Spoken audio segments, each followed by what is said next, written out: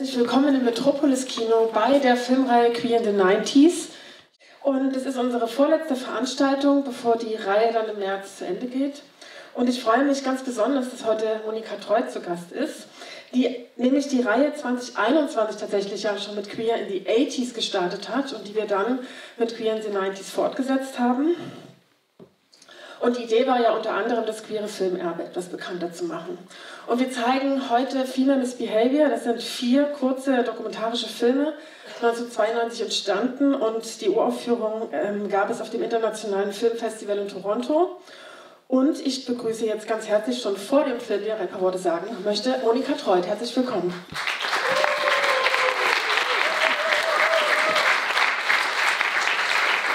Hallo.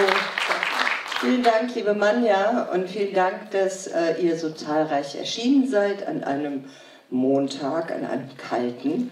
Ähm, Female Misbehavior ist eine Sammlung von vier kurzen Filmen, die allerdings entstanden sind im Zeitraum von 1983 bis 1991. Äh, das sind sozusagen meine Underground New York Filme. Und ähm, ja, es geht um die vier Tabus der Frauenbewegung. Und zwar das erste Tabu ist lesbischer Sadomasochismus in Bondage. Der zweite ist ähm, ein Porträt, ein Kurzporträt von der Annie Sprinkle, die ähm, damals anfing als äh, Performance Artist zu arbeiten, aber lange Zeit ein ähm, Prostituierte war und ähm, in Pornofilmen aufgetreten ist, in XX-rated porn pornografischen Filmen. Ähm, und die dritte, das dritte Porträt ist von äh, Dr. Camille Paglia, eine antifeministische Feministin, die, glaube ich, heute gar nicht mehr bekannt ist. Wer kennt denn noch Camille Paglia? Ah, eins, zwei, oder? drei, vier. Na gut, ähm, die war Bestseller-Autorin in den 80er und 90er Jahren und hat die Linke und die Frauenbewegung gespalten. Und sie war zufällig äh, die beste Freundin meines Nachbarn. Und ich sah sie eines Tages und sie war so spontan wie eine, ja, ein Stand-up-Comedian. Und ich habe gesagt, ich muss unbedingt diese Frau vor die Kamera kriegen. Und das finde ich eigentlich so den amüsantesten Teil von Female Misbehavior. Ähm, und dann gibt es eben noch das fast das allererste Porträt eines Transmannes von Max Wolf Valerio, der auch in meinen anderen Filmen auftaucht, in Gender Nauts und Generation. Okay, es ist also vier kurze Filme, insgesamt 80 Minuten, nicht zu lang und wenn ihr mögt, können wir hinterher noch sprechen. Vielen Dank fürs Kommen.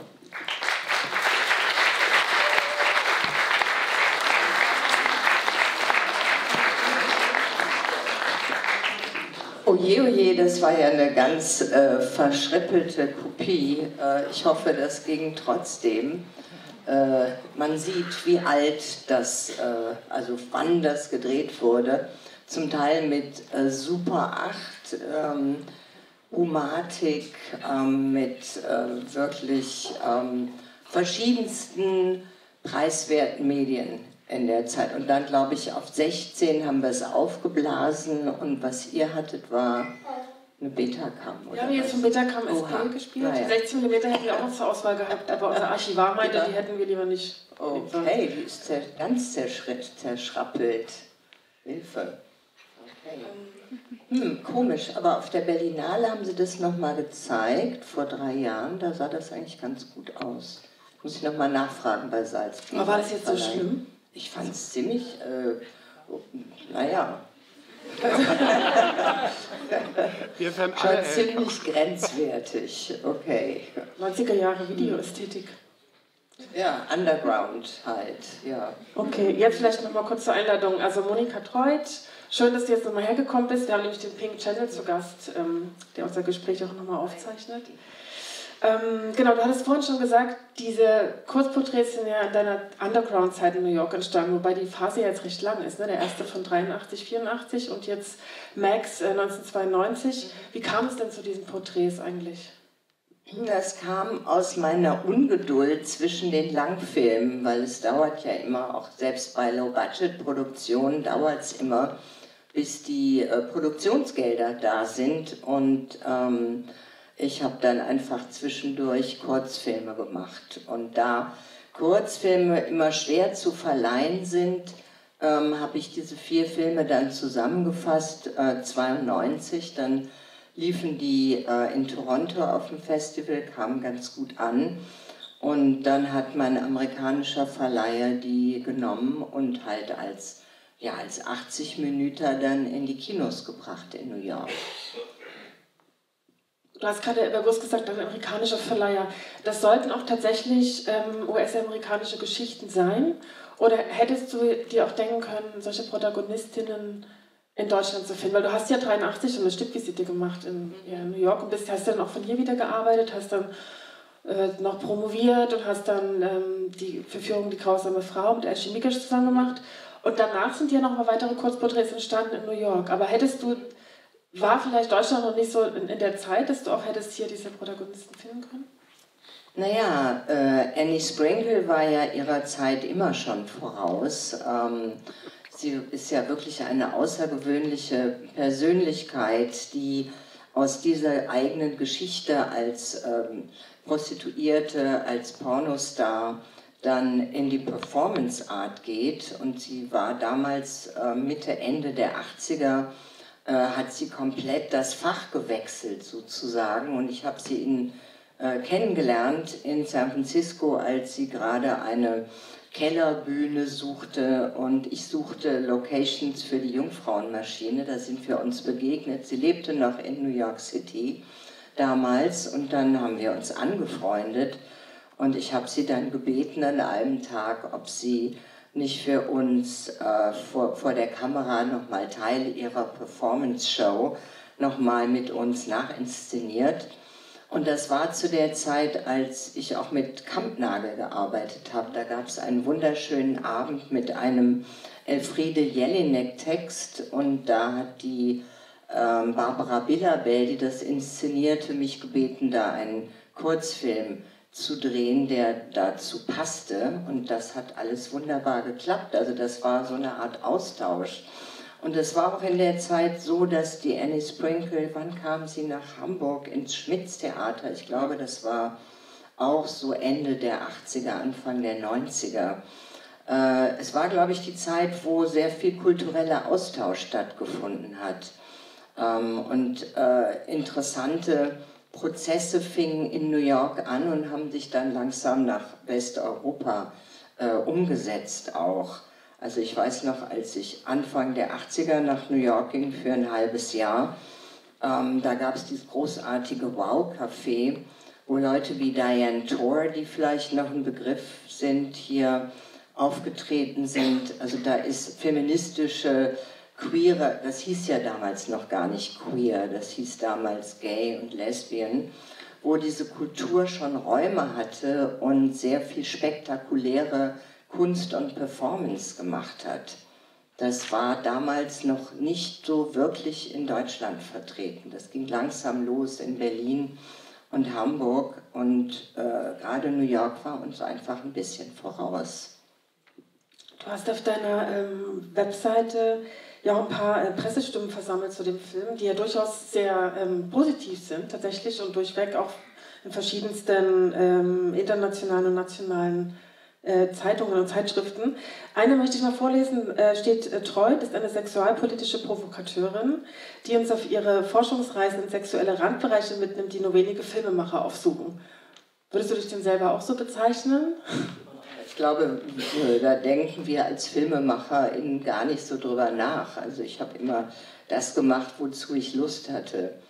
Ähm, nicht, nicht so bewusst äh, hm, provokat, provokateurisch unterwegs. Also ich erinnere noch, ähm, der Film wurde damals ja auf Kampnagel aufgeführt, der Film über Annie Sprinkle. Und da kam der Staatsanwalt, also da wurde die Kopie beschlagnahmt. Äh, nicht bei der, zum Glück nicht bei der Premiere, aber dann ähm, durfte Wo? die Kopie nicht aufgeführt Wo werden. Wo war das? das war äh, bei, ich glaube, der, der, Film lief danach nochmal, stimmt, das war glaube ich nicht auf Kampnagel, sondern im Abaton ist das passiert. Die Kopie wurde beschlagnahmt und in, ähm, in England durfte äh, Annie auch nicht vorgeführt werden, weil, ich weiß gar nicht, wie das jetzt ist, wahrscheinlich hat sich das gar nicht geändert, weil der Blick in die Vagina ist verboten. Das ist, äh, ja, interessanterweise ist das irgendwie ein, immer, ist das immer noch ein Straftatbestand. Das weiß ich. Ein irrigierter Penis ist ja auch Porno. Ja, aber das ist also, äh, der Penis ist, glaube ich, nicht ganz äh, so stark äh, illegalisiert wie der Blick in die Vagina. Also das war mir auch fremd. Äh, ich weiß noch, dass die Vorführung von diesem Film abgebrochen wurde im, im Abaton. Aber der Film hatte doch unglaublich viele Festivalteilnahmen. Also in Montreal, zum Beispiel in Toronto, aber dann auch in Jerusalem und in äh, Taipei, in Hongkong, in Lissabon, Mexico City, also überall. Und wurden da auch Vorstellungen abgenommen? Ähm, nee, ich glaube, bei Festivals ist nochmal der Kunstanspruch größer und die Festivals haben noch mehr Freiheiten. Es hatte sich wahrscheinlich, ich glaube, es muss auch immer ein Ankläger da sein. Ähm, es schien so zu sein, dass nach den Kampnagelvorführungen irgendjemand sich bedroht fühlte und dann wurde die Staatsanwaltschaft angerufen und die Kopie wurde beschlagnahmt. Und beschlagnahmt heißt aber, dass die sozusagen mitgenommen wurde und du konntest selber auch nicht mehr daran. Die wurde also aus dem Projektor entfernt, also aus dem Vorführraum. Und du konntest sie dann aber wieder mitnehmen? Ja, ja, die ja. konnte ich dann später wieder abholen. Ähm, Ihr könnt euch gerne beteiligen, wenn ihr möchtet, dann komme ich mit dem Mikrofon zu euch. Ja.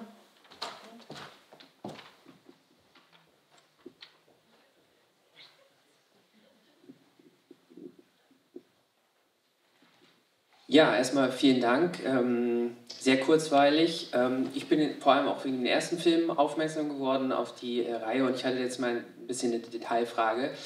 Ähm, die Protagonistin hat ja beschrieben, wie sie ein warmes, sicheres Gefühl empfindet, wenn sie ähm, im Bondage ist oder ge gefesselt ist. Und ich fand, der Film hat äh, einen Kontrast gesetzt, weil diese Szene in der Badewanne und auch die Geräuschkulisse waren eher etwas, also haben in mir Anspannung erzeugt. Ich wollte einfach mal fragen, warum dieser bewusste Kontrast war er da oder ja, kannst du das vielleicht mal die Entscheidung äh, erklären? Hm, eine schwierige Frage, weil ich mich gar nicht mehr so genau erinnere, ähm, wie das 1983 so war. Hm, ich glaube, das besteht aus so verschiedenen äh, Positionen gegenüber ähm, Bondage. Ähm, das war jetzt die Selbstaussage von Carol, der Frau vor der Kamera, die ähm, ihre Gefühle beschrieb gegenüber dem äh, Gefühl, gefesselt zu sein, ähm, in Sicherheit sich zu wiegen. Und drumherum war, glaube ich, mein Gefühl von erstmal in New York zu sein, ähm, von diesem äh, von diesem wahnsinnigen, ständigen ähm, Treiben, von den Tönen umgeben zu sein. Also ich glaube, das war halt der äußere Raum, der äh, da ist, wohin gegen die Carol da in diesem Badezimmer. Das war auch gleich anschließend nach einem Treffen von der Lesbian Sex Mafia, ähm, als ich mit der Carol da im Badezimmer drehen konnte.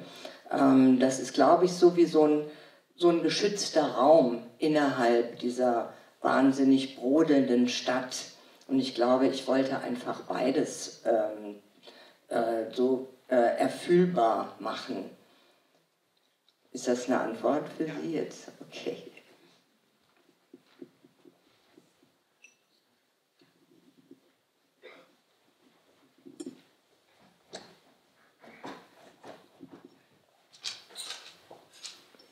Du hattest da schon ein bisschen drüber geredet, aber ich wollte nochmal nachhaken. Das ist eine relativ allgemeine Frage jetzt.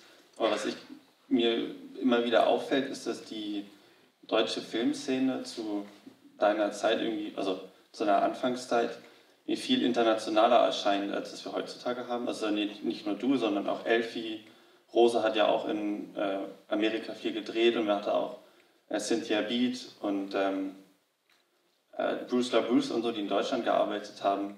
Mich hat das schon immer interessiert, wie diese ganzen Verbindungen aufkamen und die, dieser ganze kreative äh, ja, Austausch, der irgendwie weltweit stattfand, den wir heutzutage ja nicht mehr so ausgeprägt haben, habe ich das Gefühl. Also dass wirklich alle, oder vielleicht bekomme ich es nur nicht mit, ja. aber... Ja, es ist schwer zu beantworten, weil ich denke, dass heute sind wir eigentlich viel international vernetzter als damals durch die Medien und durch das Internet. Ist es ja eigentlich viel einfacher, international sich auszutauschen. Ähm, ich glaube, dass nur damals eine bestimmte Szene vielleicht mehr, ähm, ja, wo halt mehr europäisch-amerikanischer Austausch war. Und ich glaube, das war die frühe äh, queere Szene, weil also gerade auch Rosa sich sehr, sehr viel Anregung aus ähm, New York geholt hat. Und das war so das Mekka eigentlich in den 60er, 70er Jahren, in den frühen Jahren, weil die amerikanische äh, Bewegung ähm, viel politischer war und früher anfing und eben ein Teil der Bürgerrechtsbewegung in den USA war, die äh, Europa sehr viel gegeben hat. Also das war einfach ein sehr viel mehr Erfahrung und sehr viel kämpferischer, die Bürgerrechtsbewegung, aus der dann und die äh, Frauenbewegung, aus der dann letzten Endes auch die Schwulenbewegung und die Lesbenbewegung heraus hervorgegangen ist.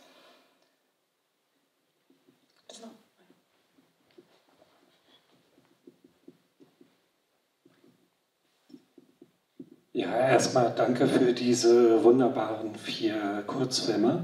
Ich kann mir sehr gut vorstellen, dass äh, vor 30 Jahren das noch wesentlich provokanter war als heute. Und mich würde interessieren, wie würde denn, äh, wie würden diese Kurzfilme ausschauen, wenn Sie sie äh, heute drehen würden? Also was, was brauchen wir, was, was muss uns heute wachrütteln? Äh, vielleicht auch gerade im Hinblick auf die unfassbare Brüderie im sozialen Medien etc. Ui, äh, das weiß ich gar nicht, ob ich das beantworten kann. Ähm, vielleicht, äh, ja, sollten wir da alle drüber nachdenken. Bei mir fällt das jetzt nicht direkt ein, äh, was ich da antworten soll. Ähm, weil, also ich bewege mich ja immer nomadisch durch die Gegend und bin jetzt gerade wieder bei, bei anderen Themen angelangt, aber sicherlich wäre nochmal wieder eine freche, äh, ja, eine freche, auch kurze und äh, direkte und auch vielleicht nicht so kunstvolle Art mit unseren ähm, zurzeit vorherrschenden Strömung umzugehen, wieder angesagt. Ich glaube, der deutsche Film ist gerade gar nicht so auf dieser Ebene unterwegs. Er ist entweder sehr poetisch, was ja auch schön ist, oder er, ja, er erzählt immer wieder ähnliche Geschichten aus der Mittelklasse, äh, Familiengeschichten, die vielleicht äh, weniger den Zeitgeist jetzt in dem Sinne treffen oder die Elemente, wo es brodelt. Ähm, also ich bin da jetzt ernsthaft wirklich überfragt, weil ich mache zum Beispiel meinen nächsten Film über ähm, eine sehr interessante Persönlichkeit in Taiwan, die Digitalministerin Audrey Tang, die eine Transfrau ist und eine ehemalige Hackerin und die äh, sehr viel also entwickelt hat ähm, und auch selbst programmiert hat, was hilft, um die Demokratie wieder ähm, benutzbar zu machen sozusagen und die uns, glaube ich, ganz viel beibringen kann. Also ich bin jetzt irgendwo äh, an einer anderen Stelle dieser Welt gelandet. Gerade keine Fragen mehr, dann würde ich vielleicht noch mal eine stellen ähm, zu dem Porträt von Max das ja wahnsinnig eindrücklich ist, wie er ähm, so sehr offen dieses, diesen ganzen Prozess schildert, den er eigentlich durchlaufen ist. Und ich würde gerne noch mehr darüber erfahren, also wie du ähm, ihn kennengelernt hast und vielleicht auch, ob dieser Kurzfilm unabhängig von dieser Rolle auf Festivals oder im US-amerikanischen Verleih auch vielleicht noch woanders äh, gezeigt worden ist. Ja, danke, Manja. Ähm, Max war damals ähm, ja, sehr viel unterwegs, auch als äh, Kurzfilm. Der lief auch ähm, alleine auf äh, Sundance beispielsweise und das beim Sundance Festival. Ähm, äh, das lag aber sicherlich auch daran, dass damals das Phänomen noch relativ neu war, äh, dass es Transmänner gibt. Und äh, so war das eigentlich so das erste respektvolle Porträt von einem Transmann, der das auch tatsächlich aufklärerisch ist, empfinde ich jedenfalls heute noch so. Und ähm, Max kannte ich schon vor seiner äh, Transition aus San Francisco. Äh, Max war ähm, damals sehr befreundet mit einer guten Freundin von mir und die rief mich dann an und sagte, weißt du, was mit Max, was mit Anita los ist? Äh, und so und erzählte mir das da war ich natürlich interessiert, weil ich vorher auch schon in New York äh, Transmänner kennengelernt hatte. Und dann habe ich Max eingeladen, nach New York zu kommen. Und dann haben wir eine Woche gedreht bei mir in der kleinen Loft und so in den umgebenden Straßen. Und das ging deswegen auch so gut, weil Max Vertrauen hatte zu mir, dadurch, dass wir so aus einer ähnlichen Gruppe kamen in San Francisco, wo ich vorher auch eine Zeit lang gelebt hatte. Okay, um vielleicht nochmal darauf zurückzukommen, ähm, was dich so antreibt, diese Filme zu machen. Du hast ja vorhin schon gesagt, du machst einfach das, was dir gefällt und siehst dich jetzt nicht erstmal, also wie die Medien dich vielleicht bezeichnen, als Provokateurin.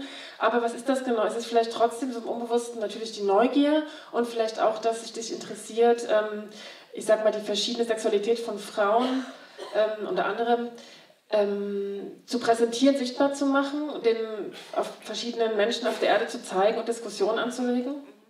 Ja, auf, auf jeden Fall. Also ich sehe das ja auch als eine politische Aufklärungsarbeit, äh, was mich total gefreut hat, dass meine Filme, auch die älteren, äh, Jahre später entdeckt wurden, zum Beispiel in Ländern wie der Türkei und in Asien wo die Frauenbewegung halt später angefangen hat und da auch sehr viel zu Diskussionen beigetragen hat und dazu beigetragen hat, die Frauenbewegung da zu stärken. Also das macht mir am meisten Freude, wenn ich zum Beispiel eingeladen werde nach Ankara von einem Frauenfilmfestival und da ähm, ganz wunderbare Diskussionen sich abspielen und die auch ein sozusagen äh, zum Empowerment beitragen.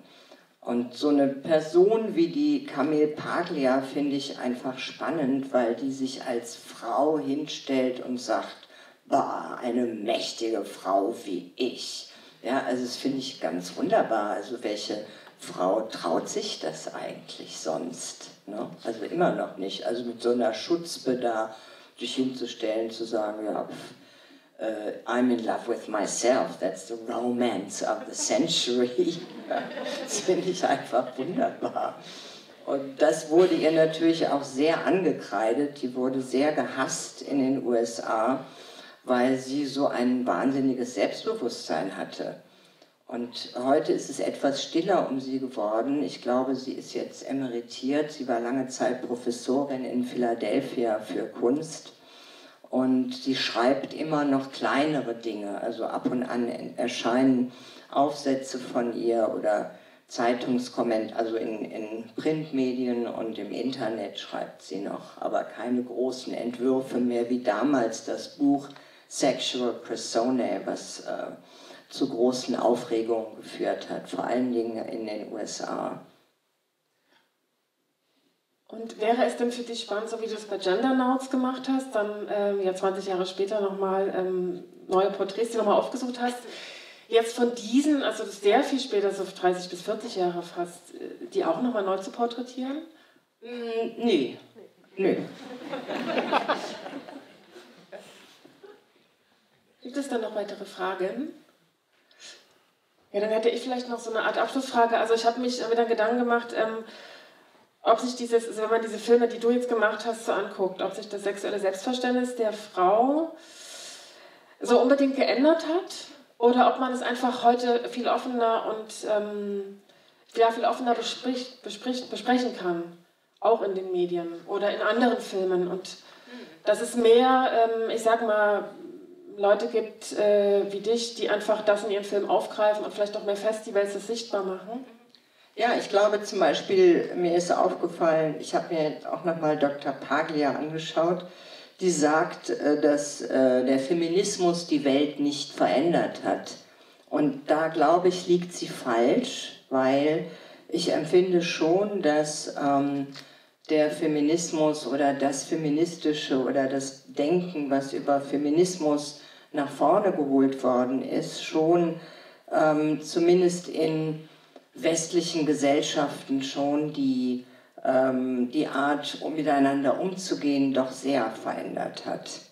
Und äh, da denke ich, da ist sie, ähm, da ist sie zu pessimistisch. Ne? Also wir sehen ja auch im Filmbereich gibt es ja die Pro-Quote-Film, ähm, die sich seit längerer Zeit stark macht dafür, dass äh, mehr Frauen hinter der Kamera sind und dass sich auch ähm, Prinzipien ändern, dass also auch Schauspielerinnen, die äh, jenseits der 40 sind, noch Jobs bekommen, dass ähm, das Body-Shaming aufhört, also da sind doch sehr viele Impulse passiert, die, denke ich, zumindest also in Deutschland, in Mitteleuropa, Nordeuropa, Nordamerika, doch den Frauen ziemlich viel mehr Platz gegeben hat in den Medien.